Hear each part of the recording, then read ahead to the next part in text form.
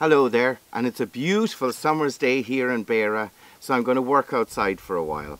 And today I want to talk about paper making, homemade paper making. And it's so simple, it's wonderful. The biggest problem is that there's so many different ways and different ingredients. So what, I, so what I'm going to do today is show you the simplest way, the easiest way and the cheapest way for paper making. And, and what I'll do then is make a few more videos uh, with different ideas and what you can come up with. So basically to start you need to make a pulp and it's so easy. All you need is a roll of toilet paper.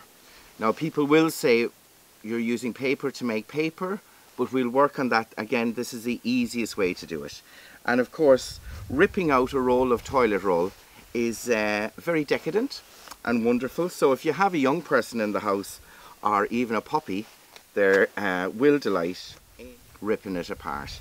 So what I'm going to do, I've got a roll of, of toilet roll here that I've ripped out and I'm tearing it up into pieces and I have it in a dish and I'm just going to pour a kettle of boiling water onto the tissue paper. So you can see it gets quite small. Now what I would normally do is leave this overnight just to soak up the water, maybe put another kettle in after a while. And then if you have a blender, it's perfect just to give it a run of the blender to make it um, a real mush. Uh, if you don't have a blender, I would cut the tissue as small as possible or tear the tissue as small as possible. So while the water is settling down, I'm going to make some frames. Now usually uh, people make wooden frames, but to begin with, I find these little disposable ones are the handiest to use. And again, they are disposable, so you only use them once. So I'm afraid if you want 24 pieces of paper, you have to make 24 frames. I'm going. To, I'm just going to make three here today. Um, I you got this square shape from an envelope because I'd like to make some greeting cards. So I cut out the shape. I have two centimeters or half an inch or an inch around that measurement there. It's two centimeters. And you can't really go much bigger than that because it will get floppy when it gets wet. So then what I'm going to do is some J-cloths here. Just lay out your cardboard frame on the J-cloth and just staple the two together. And what I do is I staple two sides and then you know you can just cut the J cloth. Doesn't have to be too exact. And then you staple the rest of it. So just make sure the J cloth is nice and taut. So there you go. There's your frame. You make as many of them as you want. So now we just have a very plain dish uh, a kitchen sink dish and full of cold well half full of cold water and then I'm just going to put in the pulp. Now I might just put in half. We might need more. We might, that's going to give it a fairly strong consistency. So you can see after breaking all the paper down, it's in bits. Now again, you're basically ready to make paper, but I'm going to put a few more extra things in it. And I've just got some flowers, a rose, some petals, that I picked yesterday so they look a little bit tired but that's okay I have some chives that I got from the garden and some calendulas that I've growing as well, some marigolds.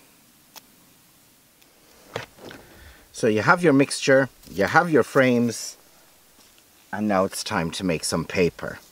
So the best thing to do is just get your frame, put it in sideways, swirl it around and bring it straight up. Now I can leave these on the footpath to dry, but if you were doing it inside, I'd leave, um, I'd put them on a folded towel so they soak up any excess water and watch again.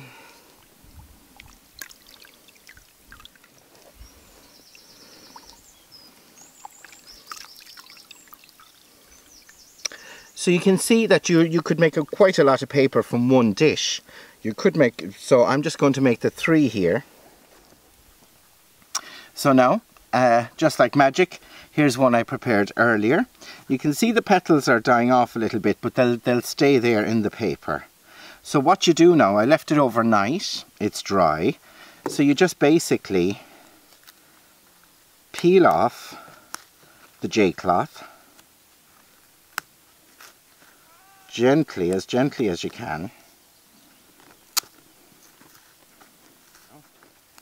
So again, very gently, just take it out of the cardboard.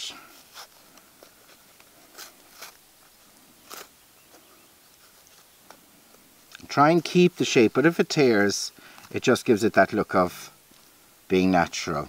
Now you can see these ends here, you can decide to leave them or you can decide to cut them, whichever it's up to yourself. So there we go, the most basic homemade paper. So how I'm going to use this, this piece of paper that I've just made, I'm going to get some PVA glue and give it a good coating on the back. Just press it down. You might need to um, put a book on it for a while just to keep it, but it should stay. And there we go. You have a greeting card made with homemade paper. So I hope you enjoyed our first journey into paper making. As I say, I'm going to do a few more videos just building up and using different techniques and different ways of decorating the paper so you'll really get a good feel. Please try and make your paper and always subscribe to the channel. Thank you ever so much.